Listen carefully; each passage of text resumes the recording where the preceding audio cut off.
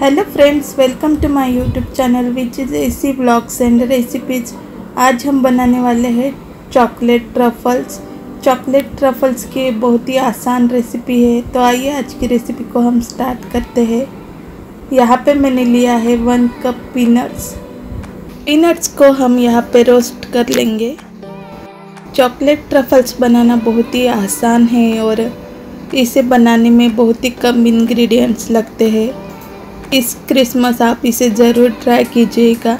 देखिए, peanuts roast हो चुके हैं। अच्छे से इसे मैं प्लेट में साइड में निकाल लूँगी ठंडा होने के लिए। यहाँ पे मैंने कुछ काजू और बादाम भी लिए हैं, जिसे हम हल्का सा रोस्ट कर लेंगे दो मिनट के लिए।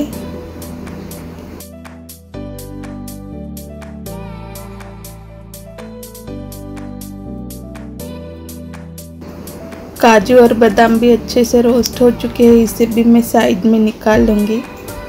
पीनट्स ठंडे होने के बाद हम इसके छिलका निकाल लेंगे।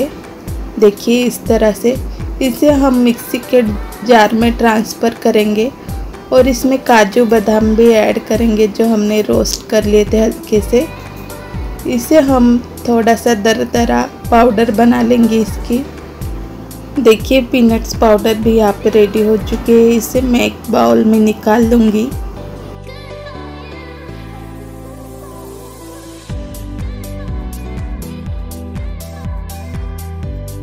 इसमें अब हमें डालना है कंडेंस्ड मिल्क कंडेंस्ड मिल्क यहाँ पे मैं दो टेबल स्पून लूँगी। अगर आपके पास कंडेंस्ड मिल्क अवेलेबल नहीं है तो आप इसमें मेल्टेड चॉकलेट भी डाल सकते हैं बाइंडिंग के लिए। देखिए, हमें इसे अच्छी तरह से मिक्स कर लेना है।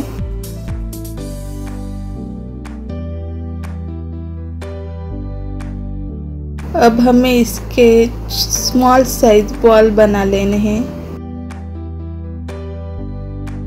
हाथों से सबको मैं अच्छे से मिक्स कर लूँगी। इस तरह से हम स्मॉल साइज़ इसके बॉल बना लेंगे, लड्डू की तरह।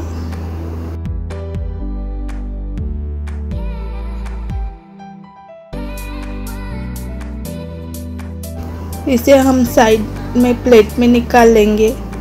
बाकी बॉल्स भी मैं यहाँ पे बना लेती हूँ। देखिए, करीबन 10 बॉल यहाँ पे बने इसे हमें अब 10 मिनट के लिए फ्रिज में रखना है।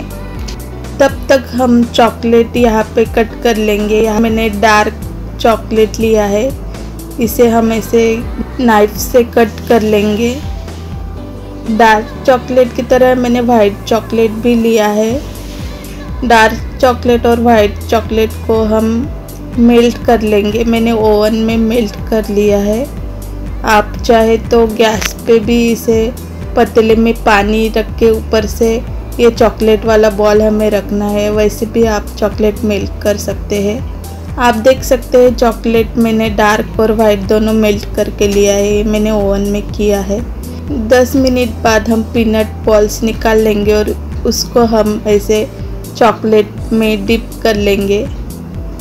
और यहाँ पे मैंने ट्रे को घी से ग्रीस कर लिया है, ताकि ये जो ट्रफल्स है वो ट्रे पे चिपकते नहीं है, आसानी से निकल जाते हैं।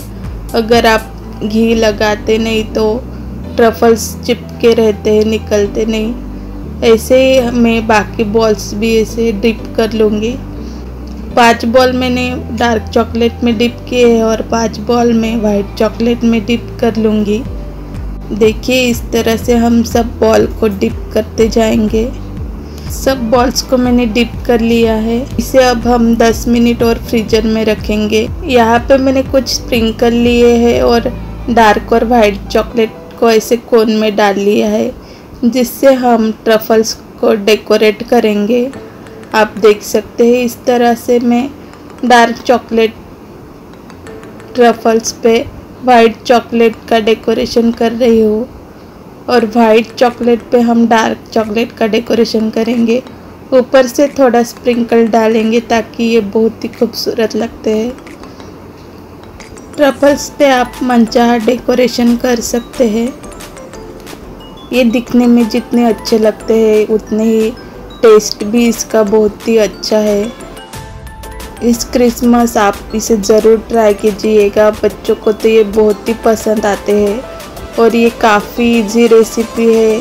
बहुत जल्दी बन जाती है और इसे बनाने में इंग्रेडिएंट्स भी बहुत ही कम लगते हैं। अगर आपको ये मेरी चॉकलेट ट्रफल्स की रेसिपी अच्छी लगी हो तो वीडियो को लाइक शेयर कमेंट ज़रूर कीजिएगा।